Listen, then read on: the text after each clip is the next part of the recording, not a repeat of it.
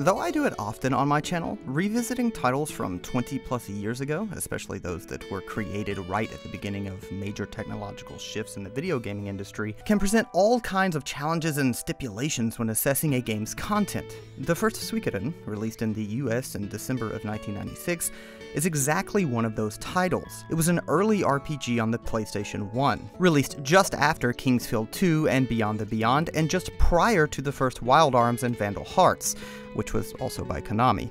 Also, at a time that seemed like all gamers that owned a PlayStation were just in a Final Fantasy VII waiting room. If that doesn't seem like a staunch barrier to success for a baby RPG, it would also be Konami's first RPG and Yoshitaka Moriyama's, a very young talent at the time, first RPG as well. He was fresh out of college after completing his studies in computer programming. He and Junko Kawano, also a newcomer to Konami, decided to take this project after being offered their choice from an RPG a racing title, or a baseball game. Moriyama has stated that he actually would have preferred, at the time anyway, to make a shoot 'em up. I'm quite glad he wasn't given that option. Moriyama would then go on to present his idea of a large cast to his boss by using the classic Chinese novel Shui Hu Zhuan, or Water Margin, which is one of the four great classic novels of Chinese literature and where Suikoden gets its name from, as it is the Japanese name for water margin. He used this as a world example, and it was a successful pitch, even if his boss kind of misinterpreted interpreted Moriyama's intentions with the introduction of Water Margin having intended to suggest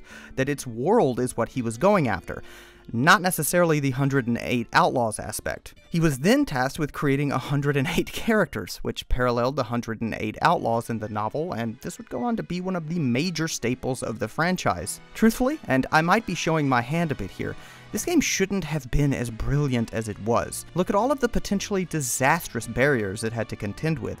Limited budget, a small team even after the closing of the other two RPG projects Konami had planned, and a significant lack of experience.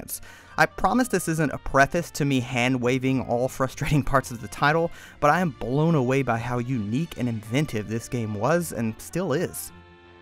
The game starts with the main character, whose name is up to the player but is known as Tir McDohl in official materials, beginning his career in the Royal Guard of the Scarlet Moon Empire after his father, Teo McDohl, also known as the General of 100 Victories and a highly respected individual, is called away to a border dispute. Tir quickly learns of the Empire's corruption and cruelness, and through Ted, a longtime family friend, is given one of the 27 true runes the Rune of Life and Death, also known as the Soul Eater. He soon joins the Liberation Army, led by Odessa Silverberg, to fight against the abuses of the Empire. It is a tightly told tale, making use of early towns by having you visit them multiple times to get a feel for not only the economic and political situations therein, but to the misdeeds occurring and the incipient turmoil. There are few games that have dealt with the messiness and complications of war and conflict as gracefully as Suikoden. Scene after scene humanizing presumed enemies and showing the clashing of wills, exposing deep fractures among hopeful allies, unearthing the hopelessly complex histories of the different factions' transgressions. Yes, the Empire is rotten, and the game, through Rockland, shows you its mistreatment of its citizens through crushing lines of dialogue quite early but the evil cackling miscreants that only want to see the world burn are few. Most are truly loyal to the Empire or to Barbarossa, a man of once great leadership and character now strangely detached and uncaring. While the dialogue and general arc are both fairly straightforward and unadorned with the perplexing mysteries that invite years of fan theories that we've become accustomed to in this genre, it's a truly grounded, focused, and contained exploration of the human condition and of war. The game never feels bloated, despite dedicating an entire section to a vampire, which, despite some frustration with Neclord from some, I found to be a pretty enjoyable segment. Plus, the game has a few twists that keep you on your toes. The game takes on grief, unbearable grief, and loss, and forgiveness, which has to happen to begin to mend a nation's deep wounds. It impresses on the player the compassion of the opposition by showing an enemy general that cares deeply about the lives of his men.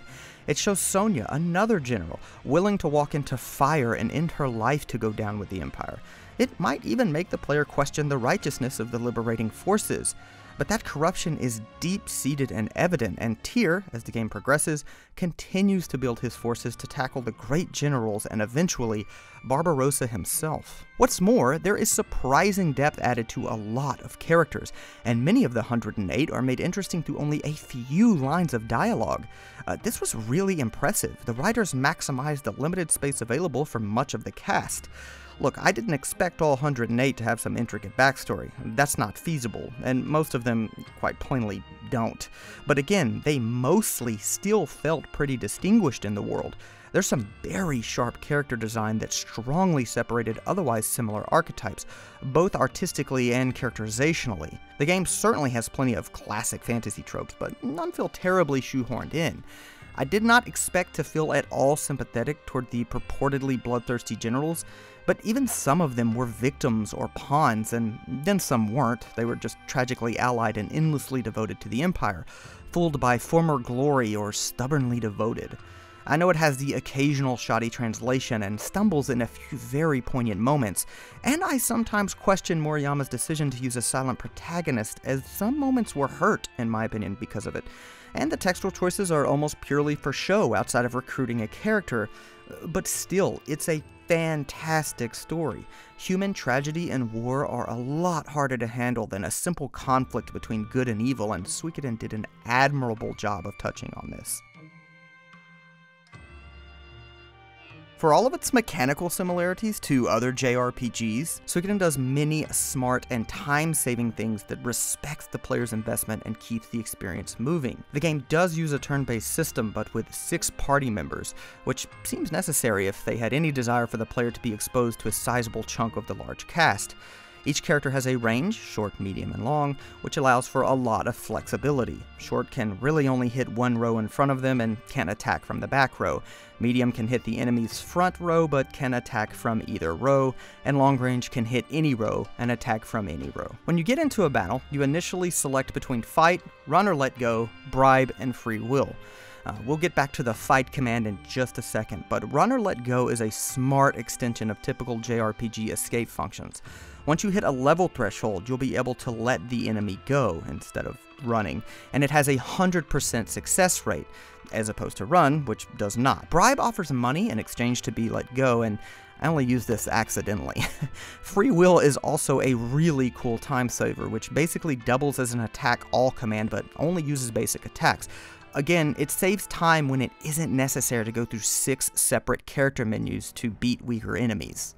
Now, when you elect Fight, you go through each character's commands one by one, with their actual turn order depending on the speed stat, which admittedly could have had some on-screen in-battle clarification. There are normal attacks, defend, runes, items, and a unite attack if one is available. While the fight, defend, and item commands are standard JRPG affairs, the Unite and Rune functions are what helps set Suikoden apart. Runes are attached and detached to characters via an NPC and give a character access to specific abilities usually either an ability that isn't limited in its use like a cool move that deals more damage than a normal attack, and some of these are gated by the unbalanced status, which makes you unable to attack but does allow the character to use an item, and others aren't, which quickly tiptoes into the busted territory, and the other runes are either magic or passive buffs. Magic runes have four different tiers, and all have charges per tier dependent on the character's magic stat, in fact, some characters are never able to access the Force Spell because of a lousy magic attribute. They are only recharged once you rest at an inn. While I quite enjoyed the runic system here, I did find myself wishing that I could attach more than one, uh, which was certainly addressed in subsequent games, or that I could more easily attach or detach while exploring, uh, despite the in-universe explanation making a lot of sense as to why that's not possible. There are cool support abilities and even a rune that lessens your chance of encountering trash monsters, but you'll be sacrificing potentially much stronger abilities to use them. Though, and I'll address this later, this was never that frustrating because the difficulty of the game is quite easy. The Unite command is really fun and is available when characters have a synergistic attack that usually deals large heaps of damage, unless the Unite is between Kai and Tir, and then it's just cheap as could be. Most of them have pretty unique and snappy animations too, even if most of them aren't really terribly necessary outside of a few. Again, overpowered ones that are nice to have in your back pocket if needed. And even then, they're not really truly necessary. Now, the game does force you, quite often in fact, to take certain party members at different moments in the game. Actually, most of the time you'll have at least two that are mandatory. And while this can be grating, there's never a concern about levels or money.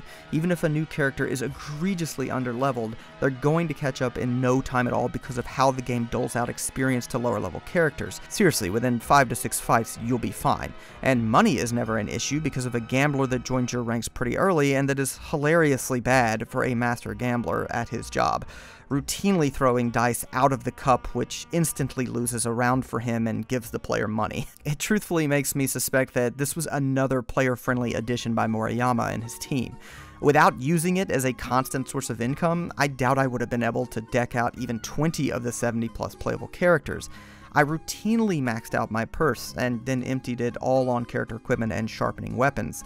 You don't find any weapons in the game, you just sharpen a character's weapon at a blacksmith and it upgrades and changes its name every few levels, which was a great decision given the amount of characters and the almost inexcusably frustrating inventory system.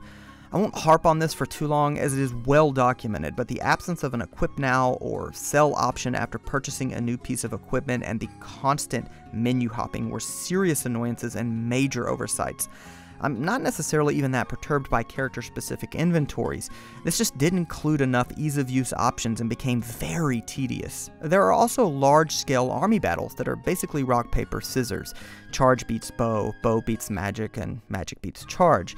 But there are added options and tactics as you recruit more of the roster, like scouting, which is very beneficial, or stealing members from the opposition. It's simplistic fun that captures the idea, more convincingly than most games of the era anyway, of a large clashing of soldiers in an open field. I don't like that you can permanently lose characters, but again, that's added weight and urgency that otherwise wouldn't have been there.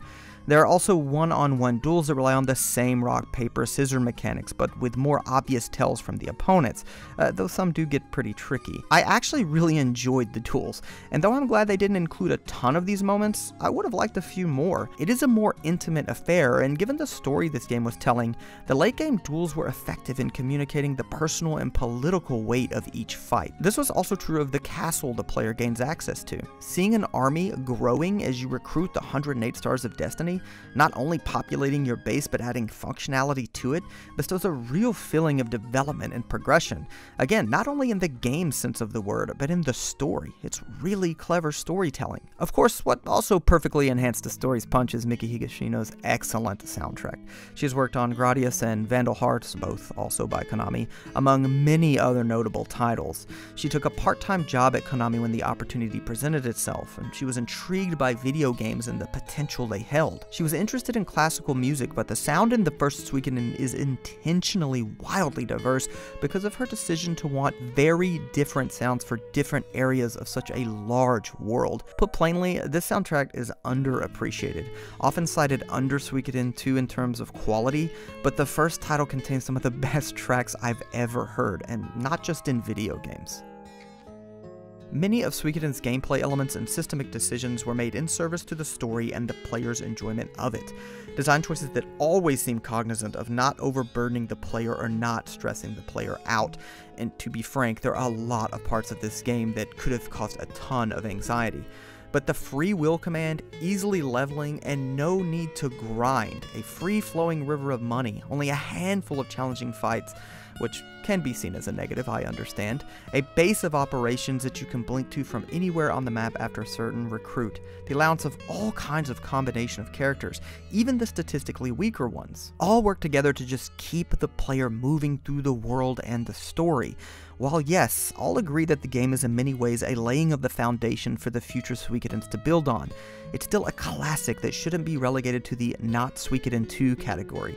It's important to remember how new this was for Moriyama and Kawano, and again, the entire team. Suikoden is a must-play title that will show you why so many fell in love with this series after its first entry.